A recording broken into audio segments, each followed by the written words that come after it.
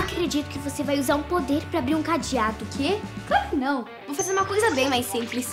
Viajar no tempo. Ufa, é bem melhor assim. Afinal, dois anos passam voando e você vai o quê?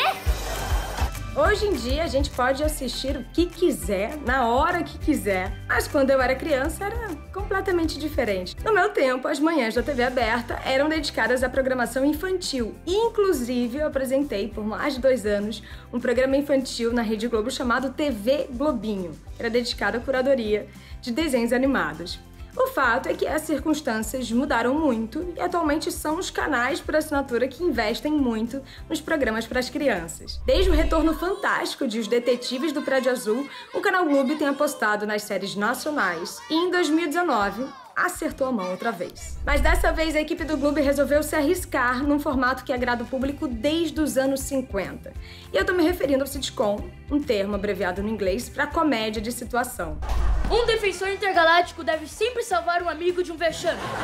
É, é isso mesmo. O Globo produziu seu primeiro sitcom para crianças. E essa série se chama Bugados e é sobre três personagens que saem do jogo eletrônico Stormcrawl. Os três, eles são assim umas figurinhas. Eu vou começar falando do Neil, um defensor intergaláctico mega corajoso. Hã? Um herói sempre sabe a hora de ajudar. Ele consegue acessar mapas, tirar medições e analisar as emoções das pessoas através dos seus óculos. E Glinda é uma skatista cósmica com um jeitinho assim de durona, mas é super mega ao mesmo tempo. A tiara da garota lança poderes, mas nem sempre eles saem como planejado.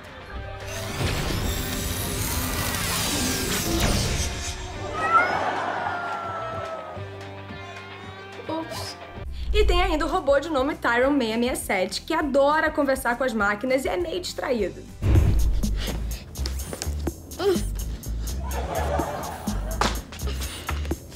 Achou meu botão pipoca?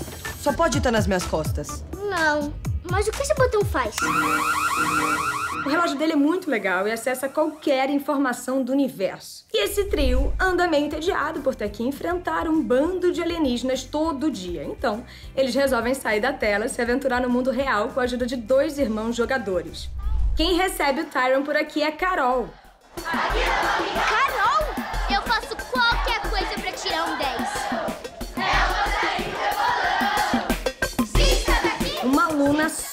Dedicada aos estudos. E essa garotinha tenta ajudar no processo de adaptação do robô ao dia a dia da escola. O irmão da Carol é Mig, que não curte muito estudar e vive assim no mundo da imaginação. Para ele não existe tempo ruim e nem hora certa para uma boa aventura. E esses nossos heróis têm uma pedrinha no sapato, a mimada Mabel, que desconfia bastante desses novos alunos. Claro que a Mabel tem o seu fiel escudeiro, o ingênuo Fabinho.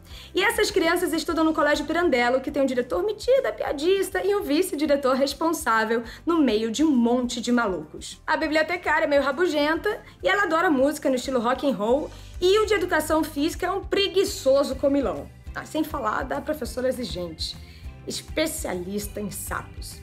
Bom, esse elenco foi escolhido a dedo, os atores mirins, além da sintonia, tem o tempo da comédia, com piadas e pausas se encaixando no momento certo.